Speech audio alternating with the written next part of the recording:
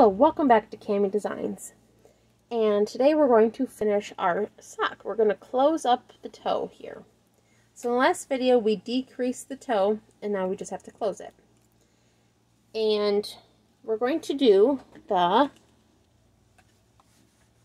oops, let me zoom this out here a little bit, the Kitchener stitch. But first we're going to set up the stitches so they're on two needles. And to do this, I'm just going to, let's take these ends off here. And this is where we started, here. So I want to just slide these six stitches onto this needle here.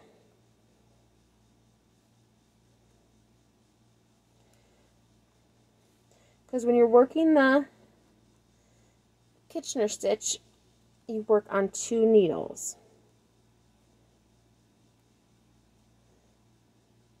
You have a front needle and a back needle.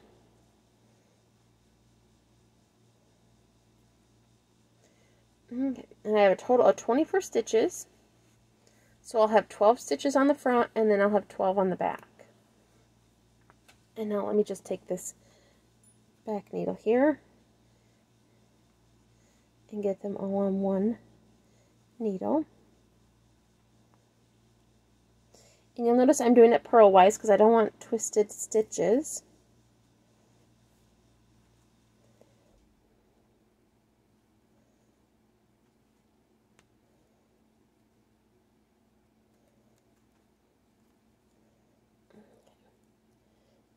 They're a little tight, so they're a little hard sliding off.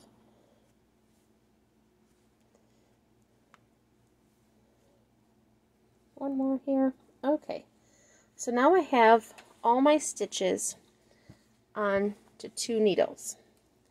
And I don't need the rest of these needles, but these, if you're wondering what size these are and what brand these are, these are Knitter's Pride, and it is a US 1.5 2.50 millimeter kind of hard to tell with the lighting here. Oh, there we go. And they're the Zing brand. I really like these. They're really nice to work with. But now I have the two needles here. I have my front needle and my back needle. And the way I have my sock set up is I have it the top of my foot here. So what I want to do is I want to cut my yarn now. I want to cut quite a bit because I don't want to have not enough. So I cut at least 12 to 20 inches of yarn here. I just kind of guessed because I'd rather have too much than not enough. Now I want to take my yarn needle and there are different types of yarn needles. I have a metal one here, but you can get them in plastic. And both of them work. You can get them with a curve in it. I just happen to like the metal needles. So, what I want to do is I want to put my yarn onto my needle. And now I am ready to get started. And I'm going to show you the whole Kitchener stitch um, because when I learned how to do this, I watched a video and I kept having to back up and repeat, back up and repeat to get all the steps and remember it. So let me get rid of some of the stuff here and I will show you the write out here. So I want to do the setup first. So I want to insert purlwise through the first stitch on the front needle, but I want to leave the stitch on the needle. Then I'm going to insert the it knitwise through the first needle on the back needle. And I'm going to leave the stitch on. And then I'll go into the steps here. But first, let's do the setup. So, from the front needle here, because my yarn is off the back needle, where I ended, so I'm going to go purlwise through this first one. And when I mean purlwise, so you go from the back to the front, just like if you were to do a purl. And I just pull my yarn through.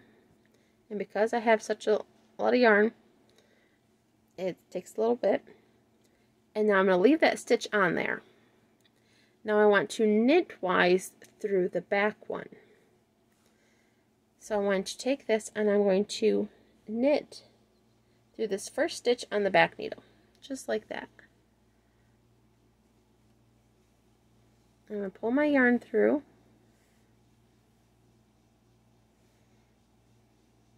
There we go. Now my setup is all done. Now I want to go on to the steps. So step one is on the front needle, I'm going to knit one knitwise, then take that stitch off. Then I'll purlwise on the front needle and leave that on. So it's knit off, purl on for that front needle. So I'm going to do that. I'm going to knit off. So I'm going to take this now, the same first stitch here, and I'm going to, let me zoom in a little bit here. Make sure I got some good light on here. So I want to knitwise, which is going this way. So I'm going to knit and pull this through. Just like this. But I'm going to drop this stitch off my needle. And now I'm going to do step two, which is purlwise on the front. So you're always going to do two stitches on the front needle, then two stitches on the back, and then go back to the front. So I want to purl, if I can get it in there. So I'm going from the back to the front like I was like I would purl. I'm going to pull that through.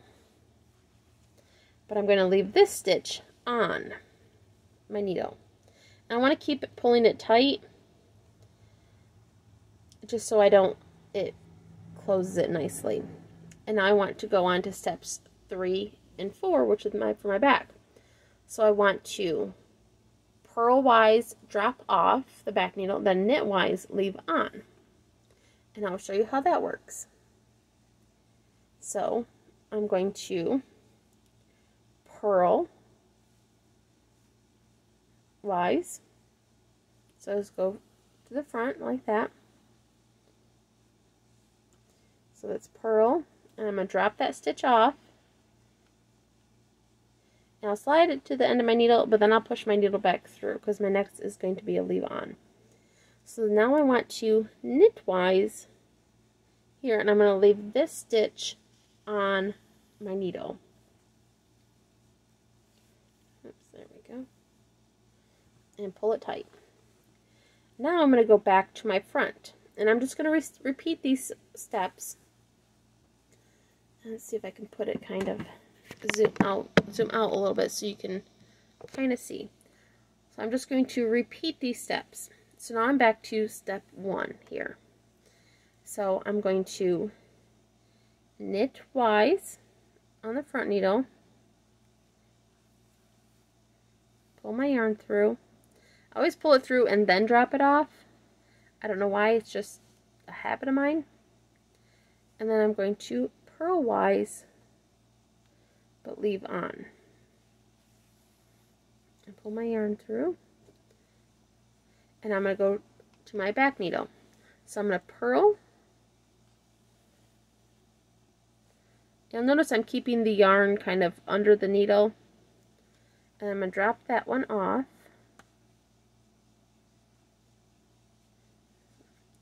And then I want to knitwise here. Oops, I think I'm going off screen here. So I'm going to knit wise and I'm going to leave it on.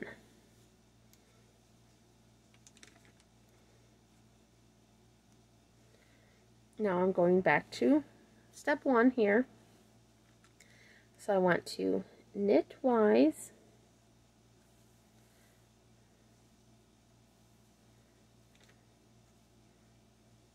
and drop it off. Then purlwise,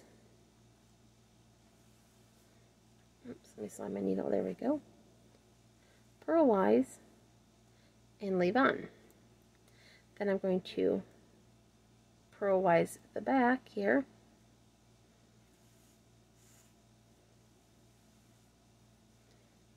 Purlwise, and then I'm going to drop that one off my needle. And then I'm going to knitwise and leave on. Now back to step one. I want to knitwise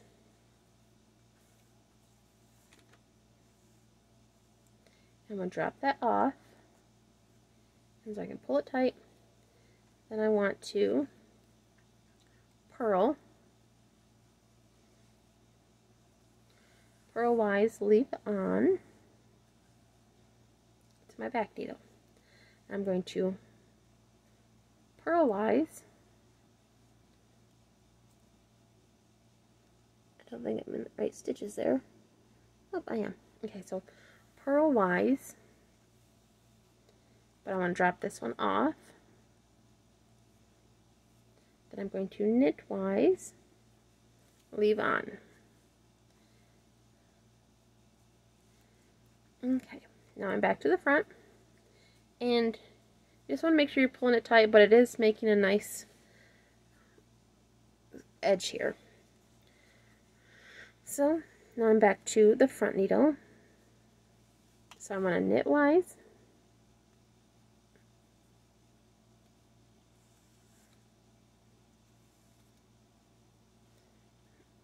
Knit off, purl, stays on the front needle, and then I'm going to purl off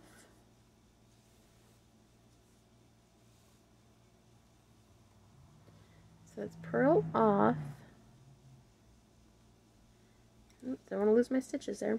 Then I want to knit, knitwise, but leave on. Remember, pull it tight. Now I'm back to the front needle. So I want to knit. And that one comes off. And then purl. And this one stays on. Then this is going to be purl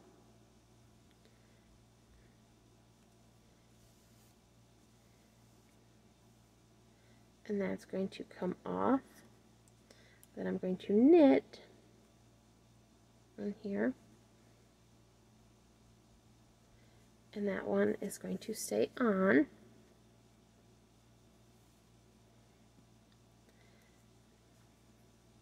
into the front needle so I want to knit. Oops my yarn is getting a little knot in here fix that real fast there we go so that was a knit and that comes off then it's a purl. And that stays on. Then this is purl. And this is an off. So, and then I'm going to knit, and this is going to be stay on.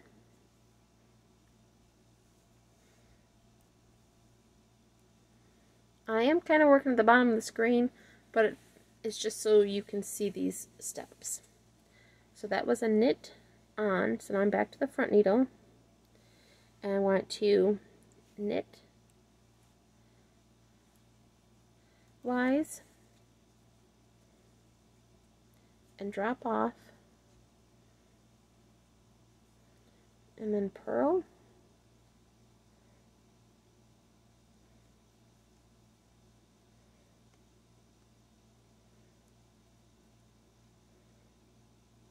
There we go. Purlwise.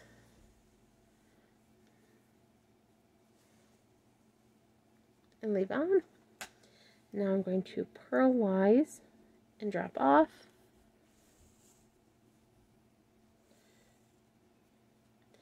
And this works for a lot of things. Um, I've seen it done in sweaters and in different kind of scarves. It just makes a nice finished edge. And I use this in most of my um, projects I have to stitch together. Okay, so that was off the back. That was, I pulled one off, so now I need to uh, knit and leave on.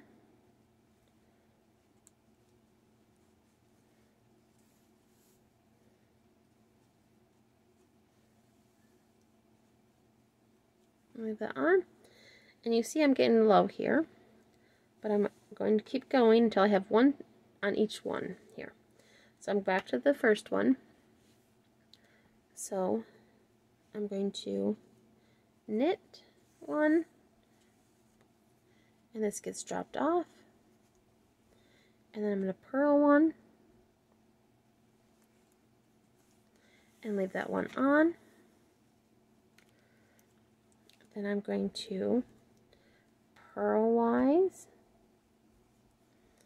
and drop off.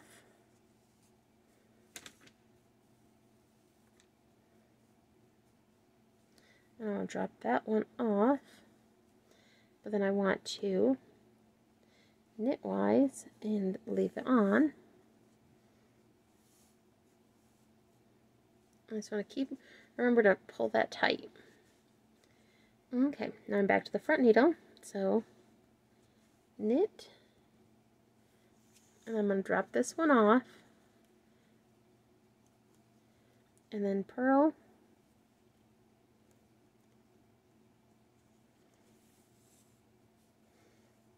oops, did not make sure that was underneath the needle, there we go, and now the back needle is purlwise,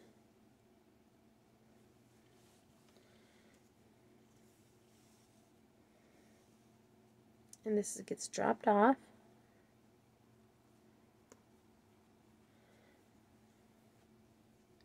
And then I want to do a knitwise and leave on. It's a little tight. There we go. So knitwise, I'm going to leave that one on.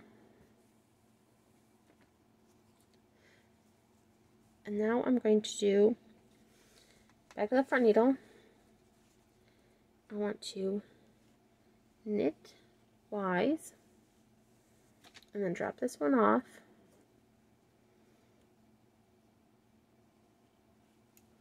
And do a purl wise and leave on. Now to the back needle, I want to, oops, I want to purl and then drop this one off and then knit wise and leave on. So now I'm left with, I just finished step four. So now I'm left with one stitch on each one. And this is when you get to, to the end here. This is when one stitch is left on each needle you want to work just steps one and three. So, step one is to knit off this front stitch here. So I'm just going to pull my needle out because that's knit off and pull it tight. And then I want to do step three, which is purlwise. Ooh. Sorry about that. And drop off. There we go. And there we have it. Now I'll just cut this to a workable length here. And so, because I want to weave in this in. So let's just cut it here. And what you want to do ooh, is I reach inside the sock here and then I just kind of poke it in here anywhere just so the needle is on the inside. And I pull it into my sock here. Oops it came off my needle. Let me pull it here. So I pull that thread into my sock and then what I want to do is I want to turn my sock inside out so I can weave in all these ends. So you shouldn't have these extra here unless you had to get a new skein like I did. And these I will just weave in just like I would anything else. And then this here is my end of my toe. And I'll just weave that in. And I have a video on how to weave in the ends. Um, and then the top here, if you didn't weave it in when you were working, oh here it is, then like I did, I weaved it in as I was working the sock. But if not, you can weave that in and then cut that, and then your sock will be all done. And you just made your first pair, or your first sock on double pointed needles. Just like that. And you can well, just like that. And there's your sock. Double pointed needles. And I will be doing the next mat, the pair to this one, the match to this one. But I will be doing it with circular needles. And these are the same size. They're just, I think, ChiaoGoo. Um, so they're the same size of needle. But I will also need double pointed needles for doing the heel and the ins inseam and then working the decrease of the toe. But these just happen to help it go faster when you're working in the round. So when you're working the cuff and the leg part, it goes faster. And then when you're working the foot, it makes it go faster. So I will show that in the next next couple videos how to work on the small circular needles. And that's it. I'll put this kind of down here. I'll zoom out a little bit so if you need this, you can see what how to do it. Um, and that's it. I just want to thank you all for watching. And if you if you like this video, please give me a thumbs up, like and subscribe. And if you'd like to be notified when my next videos come out, just hit the little bell next to the subscribe button. And you'll be notified when I come out with new videos. And I try to come out with a knit video every week and a left-handed crochet video every week. So if you're interested in those, check those out as well. And that's it. So have a wonderful day. Thanks. Bye.